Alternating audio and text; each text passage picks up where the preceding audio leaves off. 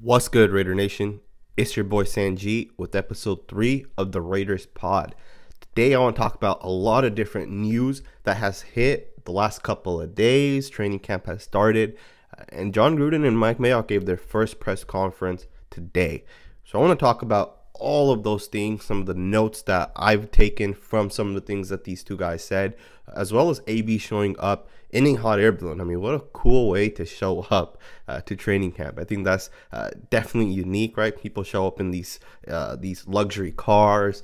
Uh, Jalen Ramsey showed up in the back of a uh, of the of the security uh, that the money, whatever it is, I don't know what it's called, but the truck that transports money from bank to bank that was pretty cool too. And Antonio Brown shows up in a hot air balloon. I think that was by far the best thing I've seen so far this off season. But getting right into it, uh, th- there's been some injury updates.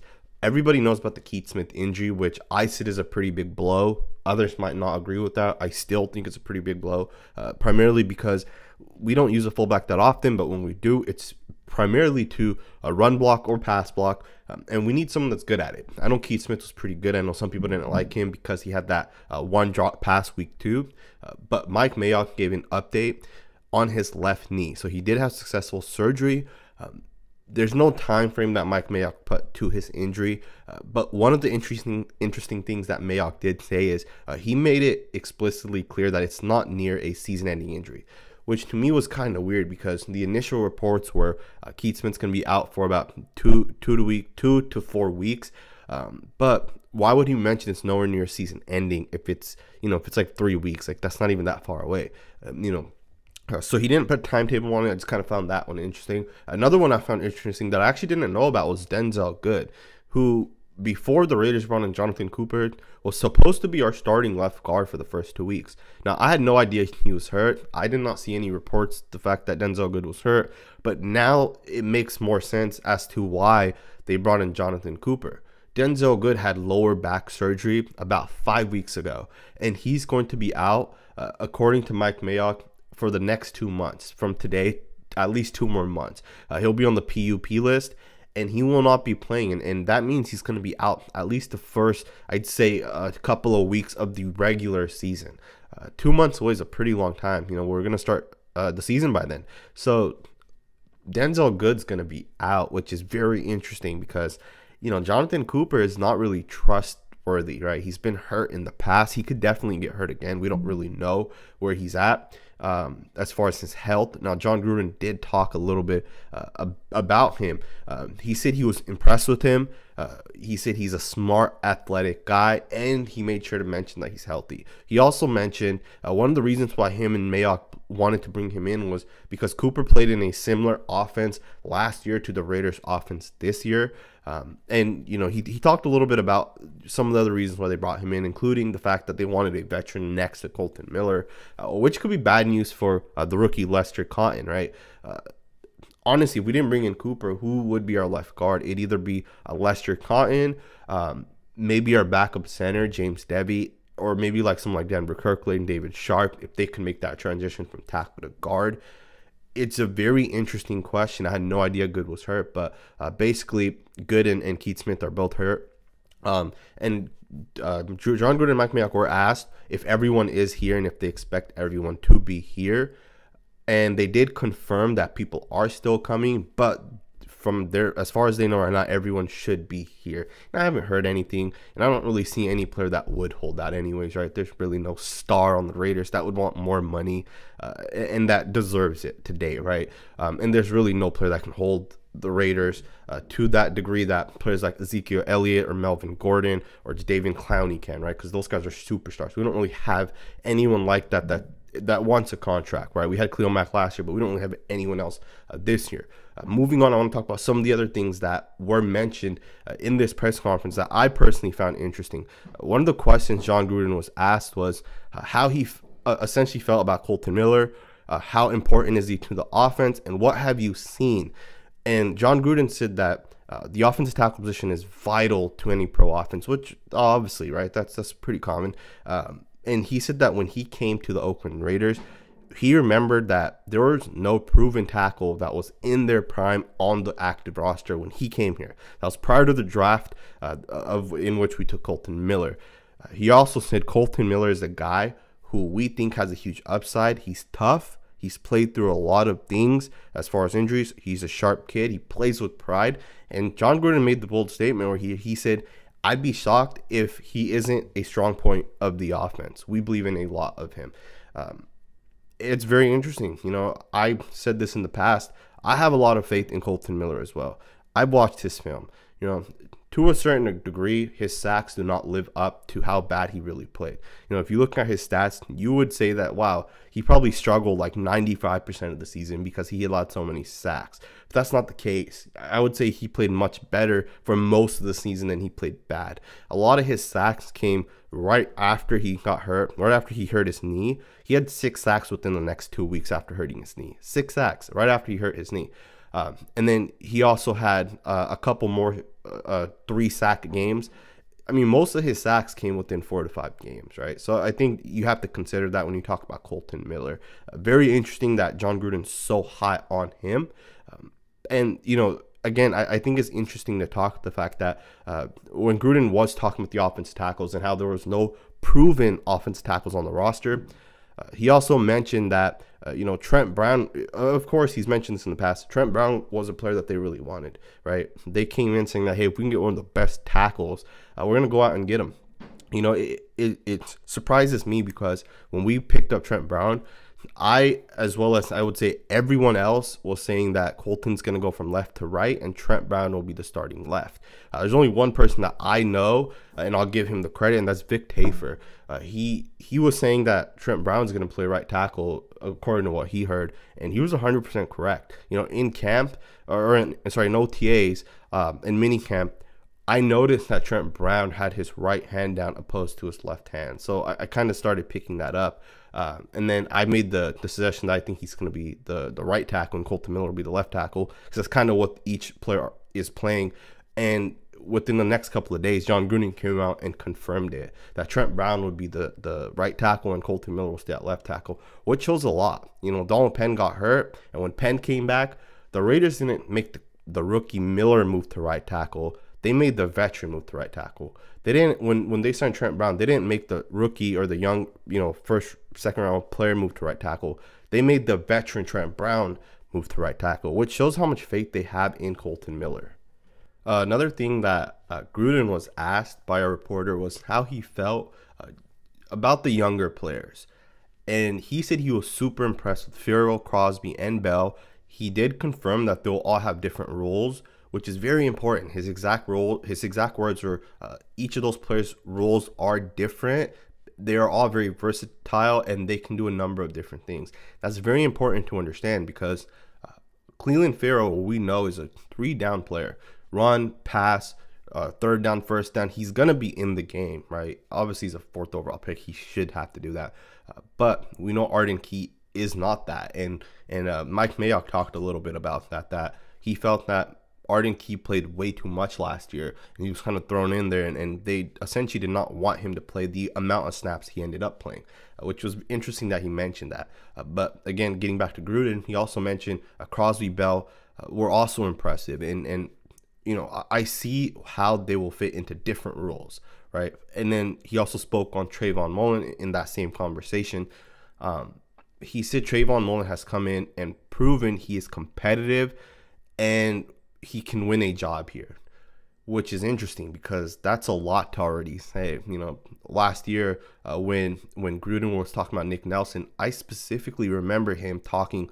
Uh, saying that he's he's a good player, but he has to prove himself and he has to win, right? He didn't say he's gonna come in and win a job here, like he, he didn't explicitly say that, right? Um, but he did say uh, Nick Nelson was one of the bright spots in OTAs this year, which is interesting, right? He mentioned that today. Um, he also talked to, uh, uh, he was also asked specifically about what he thought about the cornerbacks. Um, and his first response was, "We didn't bring Mullen in for for any other reason." Um, and I feel like that essentially means that he will, you know, they weren't that high on the cornerbacks in general. Um, he also said uh, about Gareon Conley, he said Conley needs to be healthy and he needs to establish himself. Uh, we think he has a huge amount of talent, but of course, he emphasized uh, that he needs to stay healthy, which I totally agree with, and I totally understand where Gruden's coming from. Conley hasn't been able to be healthy. You know, his his first year he was out for or for most of the year, and then even training camp in his second year he was out for parts of it. Um, you know, th- those that whole thing where he was benched. Uh, I heard rumors that he wasn't benched. Instead, he was hurt and he was playing through an injury, and the uh, the coaches forced him out of the game. I don't know if that's true, but that's what I heard. Um, and then that's when he also mentioned about uh, Worley. He wants to see if Worley can stay healthy. He said he has a lot of confidence in him. Nick Nelson was one of the bright spots in OTAs. I mentioned that. Uh, one of the things that's interesting with with the his comment on Trayvon Mullen about uh, he said exactly Trayvon Mullen has come in and proven he's a competitive and win a job here. Uh, which it's not a complete sentence, right? He doesn't say he can win a job here, but he did say and win a job here, which is interesting because when he was asked about Josh Jacobs, he said Jacobs won't be a feature back until he shows he deserves it because he isn't it right now, uh, which is good. I don't think any player should should be given that opportunity. They should have to prove it. But I think that's very interesting that he mentioned that when talking about Josh Jacobs, but when talking about Mullen, saying that he, you know, he, and he can win a job here. Um, because with Jacobs, he said he has to prove it. Which again, it, it's good. You know, I prefer players have to prove it. But he also went on to talk about how you know NFL running backs are taking huge punishments. Right, he has to get hit and get back up. Right, which is true. Right, in NFL a linebacker hitting an NFL running back is equivalent to a car accident, which is a huge impact. Um, and Gruden saying that Josh Jacobs has to prove that he can take those hits. So as of right now, uh, Doug Martin's going to be the featured back for the Oakland Raiders. Now that could change honestly after preseason week one, week two, week three. Who knows, right? It could change as we're entering week one of the regular season. We'll find out. If I had to make the prediction, I don't think Jacob starts right away. I think kind of like Alvin Kamara, he'll kind of have to earn his role. Uh, but when he does, I, I think Jacob's going to take off, and I think he'll be a great player. Uh, staying on this same conversation, uh, when Gruden was asked how he felt about his players, um, he also talked about Vontaze Burfict. And one of the things he said was uh, Vontaze Burfict will be the straw that stirs the drinks. He will call adjustments and be that leader for this team.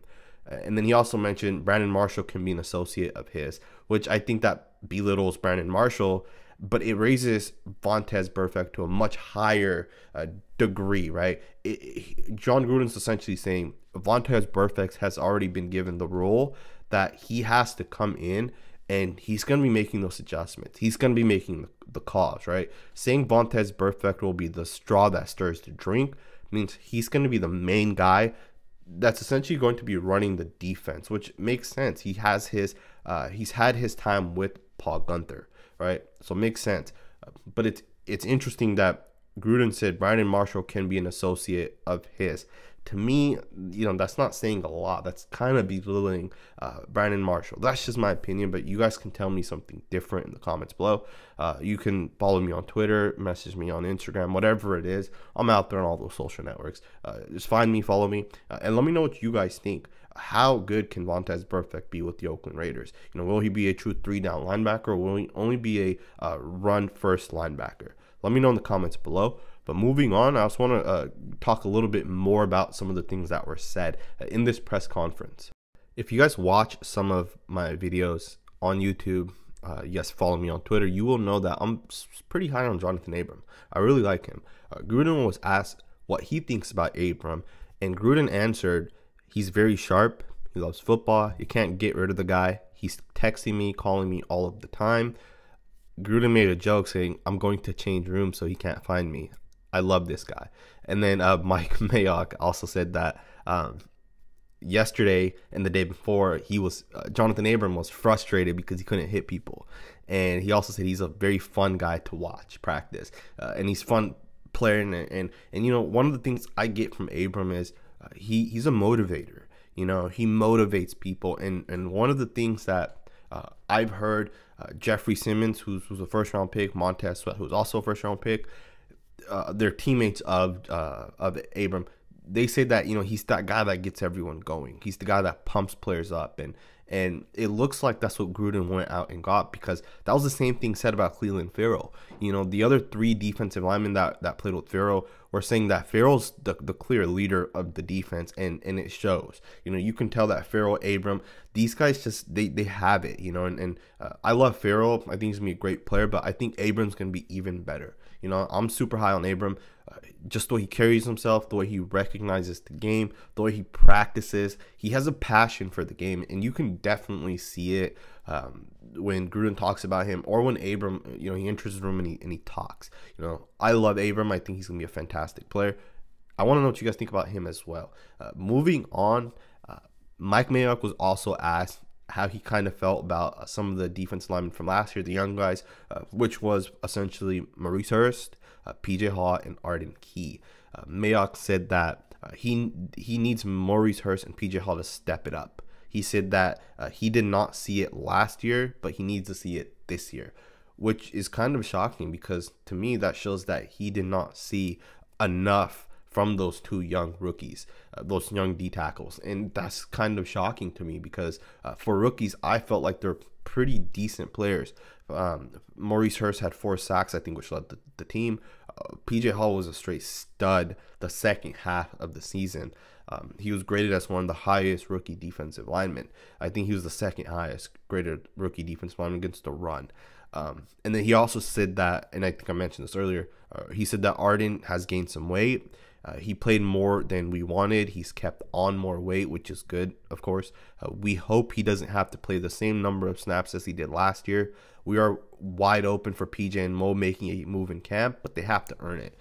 Kind of seems like that's what Gruden and, and, and John Jon Gruden and Mike Mayock are saying is uh, these guys have to earn their roles, which is good, right? Nothing should ever be given uh, to any player, no matter what what happens.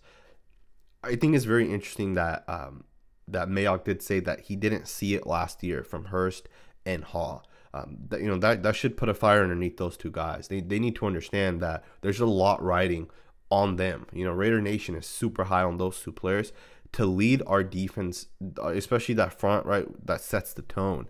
Um, that's going to be interesting. So we'll kind of see how how all that pans out. Um, another thing that uh, Mike Mayock was asked was. Uh, how has the Incognito uh, suspension been? You know, like how has it been for him? And Mayock said that he expected the suspension and that they planned uh, for it. He said that they knew about it, and he also said, from my perspective, I got back several. Uh, he said he's he went back several line coaches that uh, Incognito has played with, and he's talked to them, and and they've told uh, they've told Mayock that he's had some dark moments, but he's also had a lot of great moments.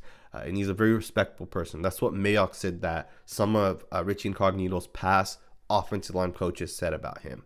Um, and, and then he also made the emphasis that so far he's been very respectful to all the players and he's been helping the young rookies out, uh, which is great. You know, that that's what we want. And he also mentioned, uh, he didn't say young rookies let me correct myself. He said some of the younger linemen out, uh, which could be rookies, could be Colton, right? Him and Colton will be lining up next to each other.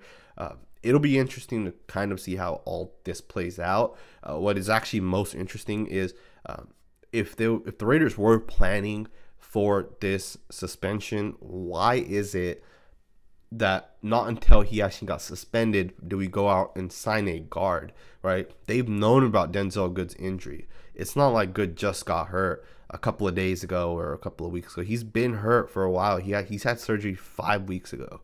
So five weeks ago, if you knew that he was having surgery and he's going to be out for you know over three months, right? Five months ago or five weeks ago, it was over three months. If you knew who was going to be out for such a long time, and you only had a rookie backup left guard, Lester Cotton Sr.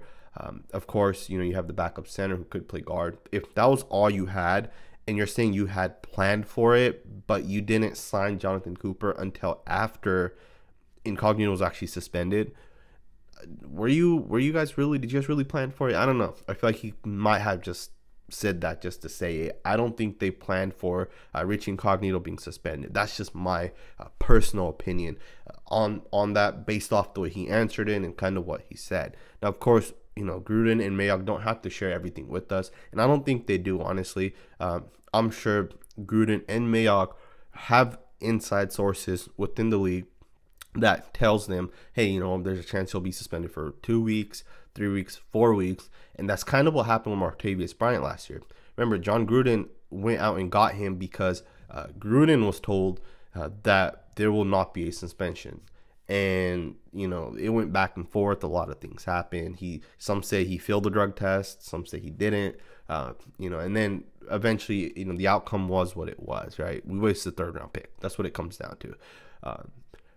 Um, sw- switching courses here.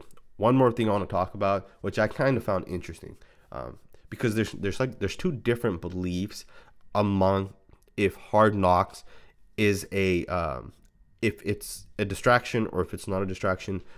You know, I've heard players like uh, um, Shannon Sharpe, right? I think he was on the first ever Hard Knocks talk about it. Uh, I've heard like some of these other analysts like Cris Carter and some of these other ex NFL players talk about Hard Knocks and kind of the impacts that it has had. Um, a lot of these guys, and I guess these things are, are part of the media now, so they're no longer in the actual locker rooms. And truthfully, they're never really coaches or GMs, which I guess those people would have a whole different perspective than an actual player, right? Uh, so these ex players who are now TV media analysts say say that Hard Knocks was not a distraction, and it's not a distraction. Um, because a lot of it's like you know you tell a player come over here. We're gonna set this setup for you guys and you guys are gonna do this or do that and we're gonna record it and then we're gonna include it. Uh, a lot of it is is it's reality tv right? A lot of it's fake. It's set up right? If there's something negative that happens they're not gonna air that right? They're gonna cut that out. Um, but these nfl media analysts ex-players all of them say it's not a distraction but mike mayock uh, specifically talked about hard knocks and Mike Mayock says um, the reason why you go away for training camp, right?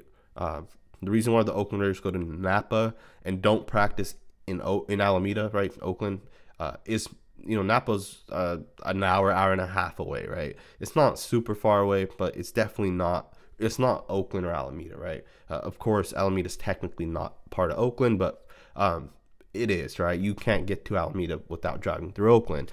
Um, the reason why uh, Mike Mayock mentioned that they go away for training camp is because there's a lot of distractions.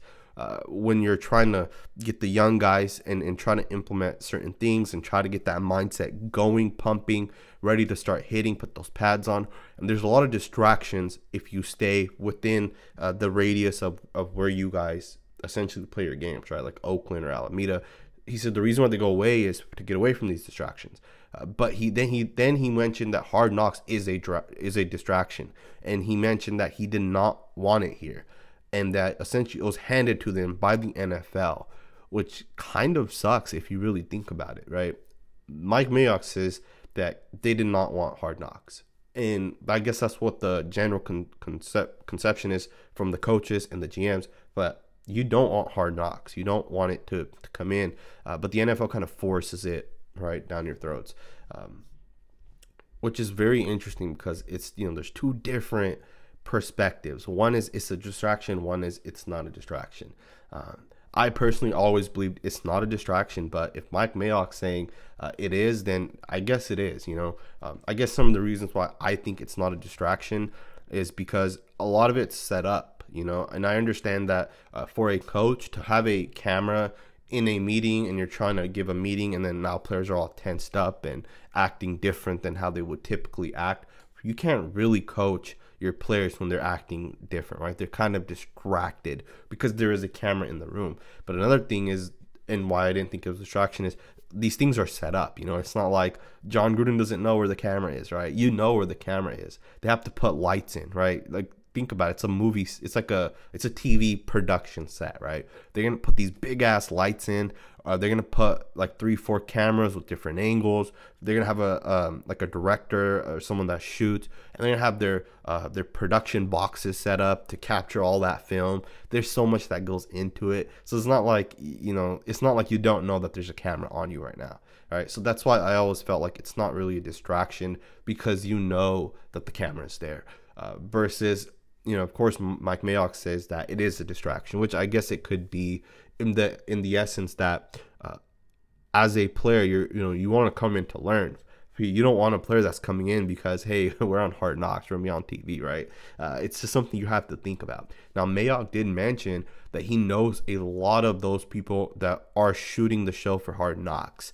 Um, the the director, the guy that produces uh, this, or, or I shouldn't say director, because director, producer, two different things. The producer, um, I don't know what his real name is but it's Ray Donovan from the show Ray Donovan. So if you guys haven't seen that show, that's the guy that produces Hard Knocks, and he's done it every year except for one year, which is interesting because uh, I really like the show Ray Donovan.